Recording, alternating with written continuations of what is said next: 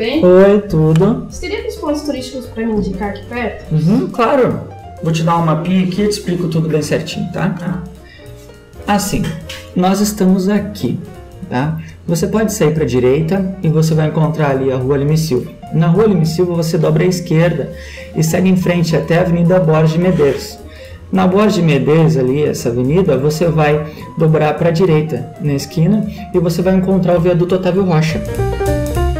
Viaduto Otávio Rocha tem uma escadaria ali que você pode subir a escadaria e você tem uma vista urbana da cidade.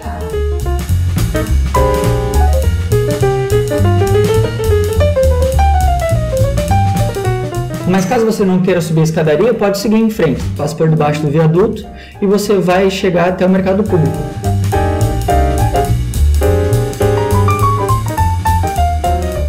Mercado público, ali você vai é, ver tem muitas coisas culturais ali dentro, tem erva, tem charque, tem sushi.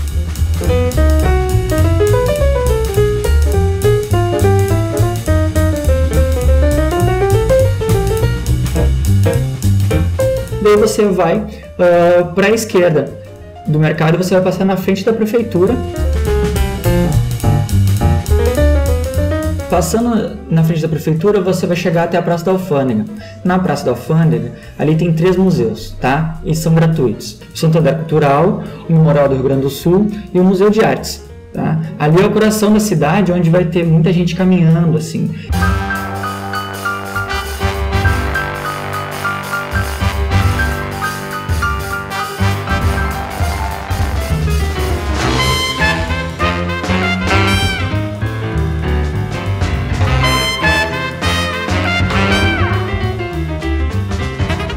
Então, depois que você passar por ali, pela Praça da Alfândega, você segue em frente e vai na Casa de Cultura Mário Quintana. É uma casa cultural bem dinâmica, assim. Tem andares com núcleos que você pode visitar e no sétimo andar tem um café que tem uma vista para o Guaíba.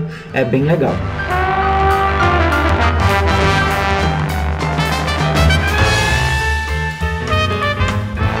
Depois eu sugiro que você retorne e volte para a Praça da Matriz, onde tem os prédios administrativos e tem a Catedral Metropolitana. Você pode visitar, é muito bonito ali.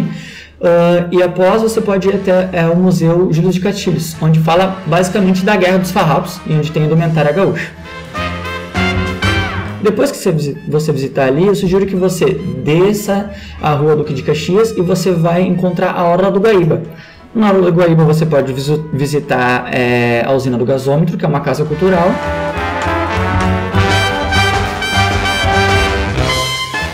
E você vai conhecer a Orla do Guaíba, onde tem pessoas caminhando, assim, principalmente de tardezinha, porque tem o pôr do sol que é muito bonito de você conhecer e as pessoas fazendo exercícios assim e tudo mais.